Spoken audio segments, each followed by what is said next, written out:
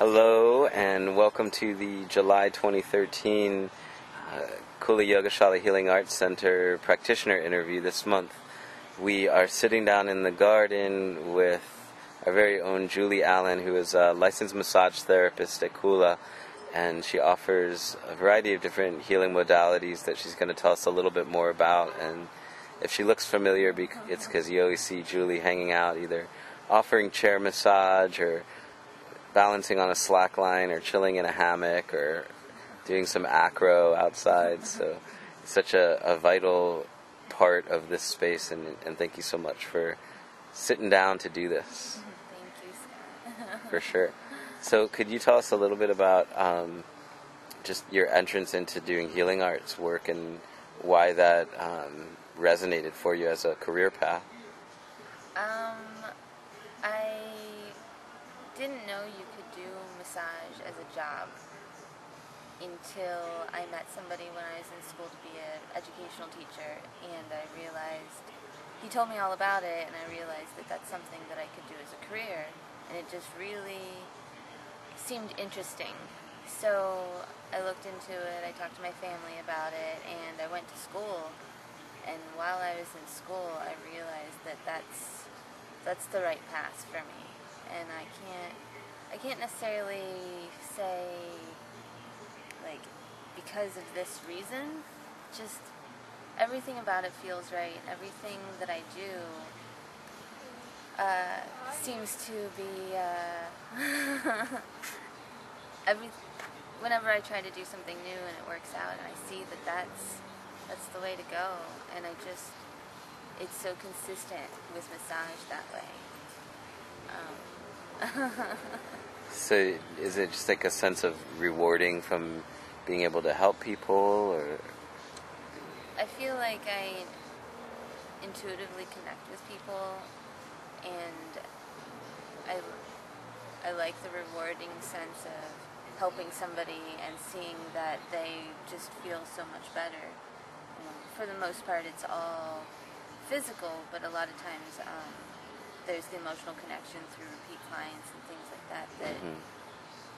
I just I don't know how to explain it. It reminds me of the, the saying, like, our issues are in our tissues. Oh, I love that. I've never heard that before.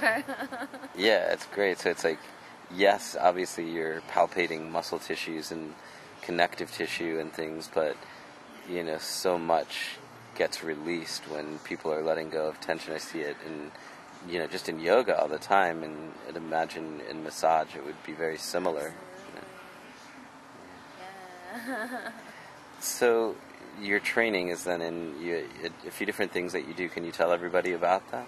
um, there's the, the regular Swedish and deep tissue. Um, I can do pretty deep tissue if that's something you're interested in.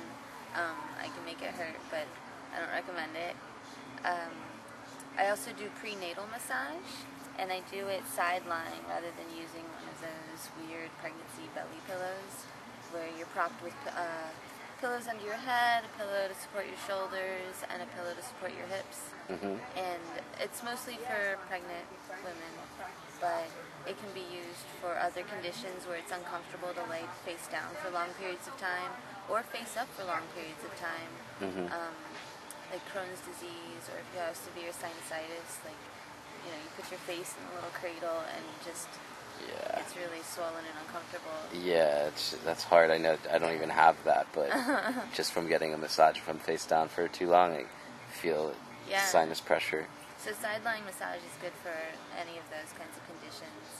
And uh, I also do Zen Shiatsu, which is uh, similar to Thai yoga massage. You're fully closed on the floor, and um, as the practitioner, I'm palpating meridians and doing a lot of stretches to balance out the energy flow through your body.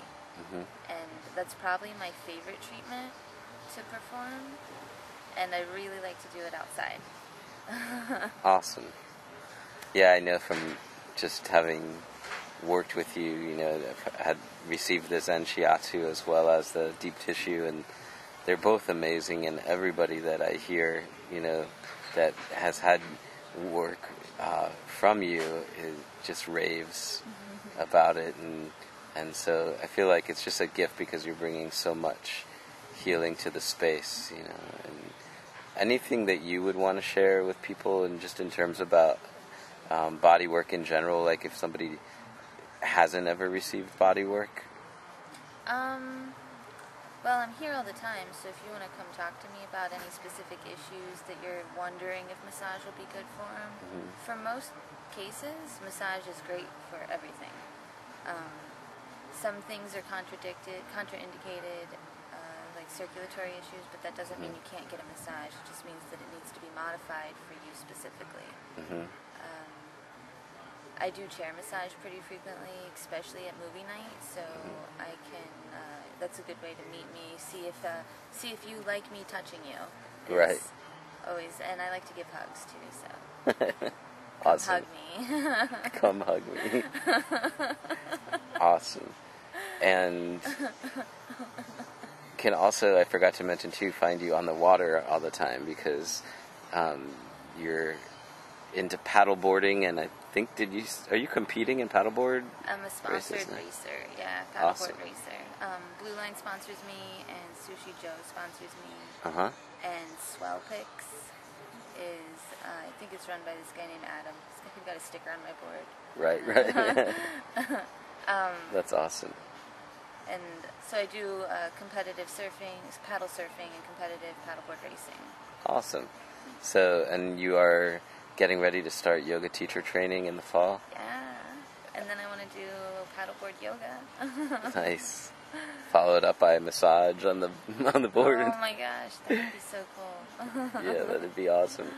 Well, thank you so much for doing this. Anything else that you wanted to add? I'm good. Thank you. All right, thanks. Bye.